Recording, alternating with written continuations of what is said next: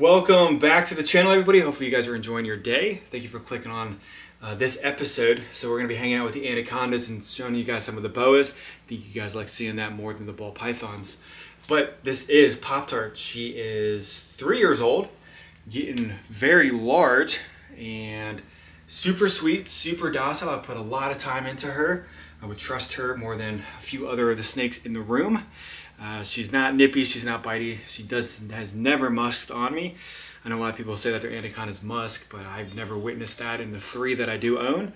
So the male is in shed, which is exciting. Uh, he's definitely growing.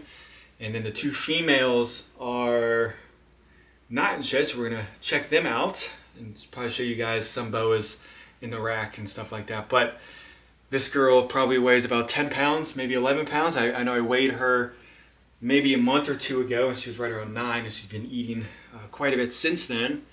So her diet now consists of one pound rats or one pound uh, rabbits. And I really think I'm going to start swapping over completely to rabbits here very soon. I know, or I've heard, once you get above like the jumbos or the extra jumbos or whatever it is, the rats are just super fatty, and the rabbits are a little bit more of a leaner meat. So I think that's going to be beneficial for her in the future. She's not showing any signs of fat pockets or any really fat on her. As you can see, she's thick, full of muscle, and uh, just I think the rabbits will just be the, the better way to go. Uh, for the future, I just need to get a hold of some, but uh, that's how that's gonna go. So this girl right now is probably touching seven feet, and like I said, she's probably about 10 pounds, but super sweet, super docile. It's always a joy to take her out and hang out with her whenever I can. And I put a lot of time into these girls just so their the temperament is good as they're younger and then when they get older we don't have any issues or I don't have any issues handling it because I do this by myself. And I think even at her size now, if she gets wrapped around your neck, uh, she wouldn't kill you, but I think she'd give you a little bit of a startle if she starts squeezing because this girl right here is pure muscle and she is pretty strong. So taken her outside quite a few times this year and she definitely enjoys being out. Wish I could take her out more, but I don't want anything bad to happen to her and you know, not much a snake can really do except slither through the grass and enjoy some sunlight, which is always good for them. But um, I know a lot of people are probably getting into anacondas and purchasing babies. If you guys have questions or anything, I, will try to help you guys. I've I have three of them, and I've uh, gone through the baby steps and the stressful, uh, the stressfulness of them not wanting to eat or uh, being super picky as babies. But um, if you guys have questions, let me know. So this girl is. I would really like to bring her into some reptile shows, um, maybe educational stuff, maybe. I know. I think PetSmart or Petco does like on the weekends where you bring your pet in or your exotic pet in, and people can like see them. I don't know how well they would do in that type of a setting. I think she'd do fine, but I think I'd be more worried about some of the, um, I don't know, I don't want to say diseases that might be around Petco, but I'll just try to keep her healthy as, as much as I can. And she is in a, for those that are wondering, she's in a nine foot by three foot cage. So it's plenty big for her and should be plenty for her uh, for quite a few years. And then in Ohio, uh, I do need a permit when she hits 12 feet, so that'll be very, very soon. So let's check out Mountain Dew. All right, so this is Mountain Dew, the second female that I have. She's a 2020, so she's about two years old. And she's a little on the small side just because we had a little issues with her when she was smaller, but she's bouncing back a lot and she's put on a lot of size in the last six months, I would say. And very excited for that. So I've been feeding her um, not a lot, but I upped her food uh, intake just a little bit. So I was giving her, uh, was it two smalls and a medium, and a, maybe just a medium, or two mediums. I can't remember what it was. Two mediums a week, and uh, just to get some weight on her because she was very underweight. I'm not gonna make that as a habit of feeding my snakes twice a week, but she needed to get up to size. She needed to get some weight on her. She was looking a little thin, but as of now, she's definitely uh, getting some size on her. Like I said, getting that muscle tone, which is what she needs. And from here on out, hopefully she stays healthy and she does well. So she's definitely growing. Super docile, super sweet snake, just like Pop Tart. And it's nice when you put the time and the energy into these snakes, they're very, very rewarding.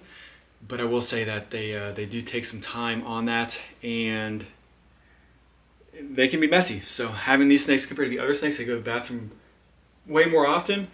I would say daily. I'm basically changing the water out on all the anacondas, and um, I really don't do that with the ball pythons or the boas. And the boas do have some nice water that they can soak in, and and once they once they eat, they go to the bathroom, and then that, that's it.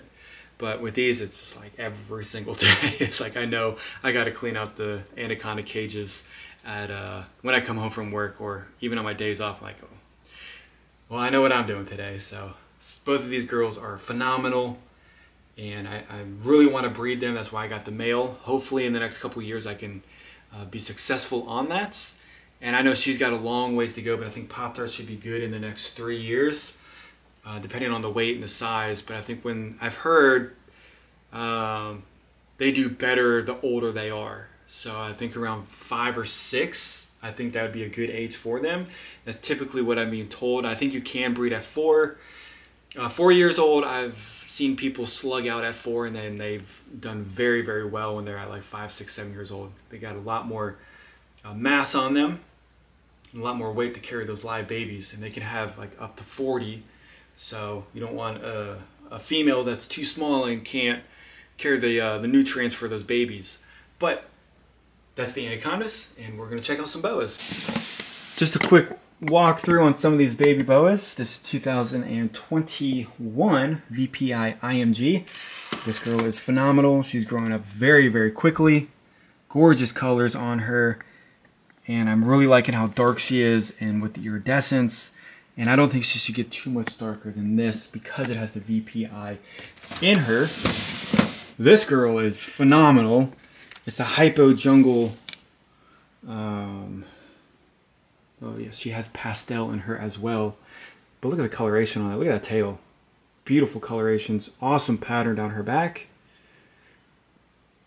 And she's a 2019, which she's smaller than the 2020s, but she eats like a monster.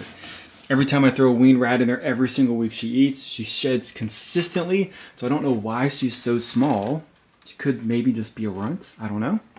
But I've never had any problems with her. And I really like this one right here. She's growing up, changing her colors, just looking phenomenal. So this is the Moonglow 2020. And she kind of wants to get away. So really cool tail patterns on her pretty unique looking uh, snake on the colors and the patterns. And I like her eyes as well. We'll focus. But just a super, super cool snake. And a lot of people want to try to get something out of the ordinary on the boas. I highly recommend them getting a moon glow or the Snow. So she eats phenomenal. And when she gets bigger, she'll be in a full PVC enclosure. But as of right now, she's doing very well in this cage right here. This girl is getting darker and darker with every shed. This is the IMG, Hypo, Motley, and Jungle. And she is 100% het for snow, so she's got the anery and the albino gene in her, which would be cool to try to breed that out and see how well she does. But she's 2000, she's 2020, so she's getting up there. She's on small rats, doing very well. And that is it for now. I'll, I'll definitely show you guys more snakes on the next video. And hopefully you guys enjoyed that. Hopefully you guys have a great day. See you on the next one.